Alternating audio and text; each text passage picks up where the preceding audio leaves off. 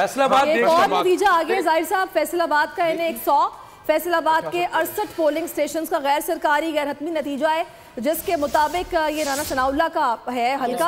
आज़ाद उम्मीदवार निसार जट यहाँ पर पच्चीस हज़ार नौ सौ अठहत्तर वोट लेकर आगे दिखाई दे रहे हैं और दूसरे नंबर पर यहाँ पर नून लीग के राना सनाउल्ला है जो अठारह हज़ार छह सौ तिरपन वोट लेकर दूसरे नंबर है। पर है।